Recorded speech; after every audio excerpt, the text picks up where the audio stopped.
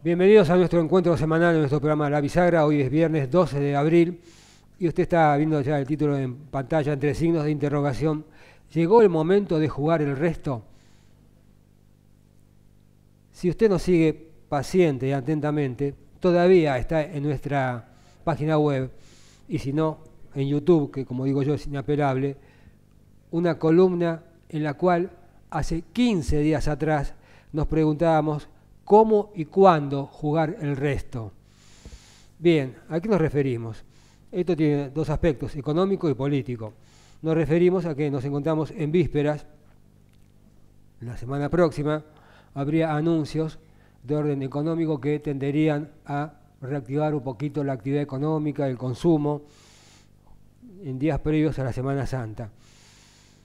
Para hablar de estos temas, como dijimos, en lo económico y político, tuvimos hoy dos diálogos, dos entrevistas que ya se encuentran en nuestra página web. Una con el economista Aldo Abraham, que a su entender lo que ha trascendido hasta el momento y lo que se va a anunciar la semana próxima van a ser una suerte de placebo. Pero también con este economista hemos analizado lo dicho en la semana que pasó por la directora gerente del Fondo Monetario Internacional, en el marco de la habitual reunión de comité interino de primavera boreal del Fondo Monetario y del Banco Mundial.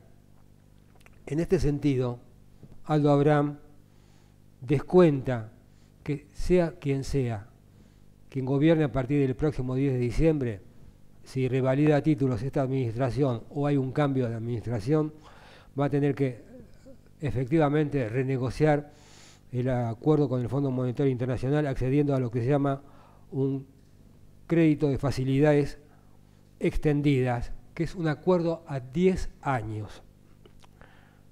No quiero dejar de mencionar en este capítulo de la entrevista con Aldo Abraham que la fundación de la cual es director ejecutivo, Libertad y Progreso, justamente la semana que pasó, dio a conocer los resultados de lo que es el índice de institucionalidad, de seguridad institucional de un país. Y la Argentina, en la gestión de Cambiemos, en lo que va de la gestión de Cambiemos, mejoró 30 puestos, pasando del 142 al 112.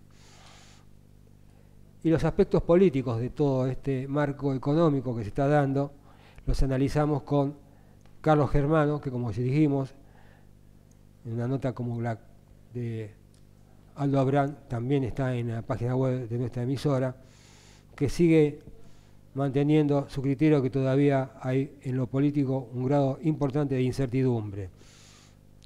Y nos ofreció algunos números. Siete de cada diez argentinos que fueron encuestados por su consultora tienen una imagen negativa de la gestión de la actual administración.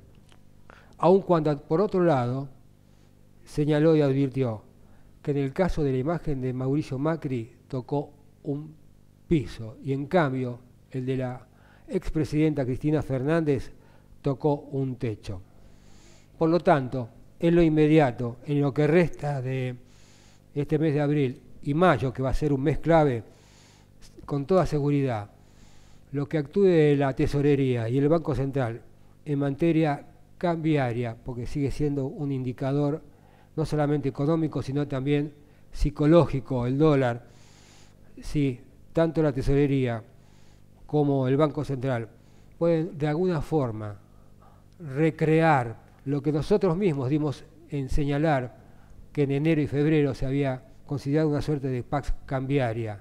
Y las medidas que se anuncian la próxima semana son algo más que un placebo, como nos dijo hoy Aldo Abraham, no hay duda que puede comenzar a modificarse en algo el cuadro actual que venía perfilándose para el oficialismo y también esto podría determinar que la oposición también comience a jugar el resto y precipitar decisiones. Hasta todos los momentos.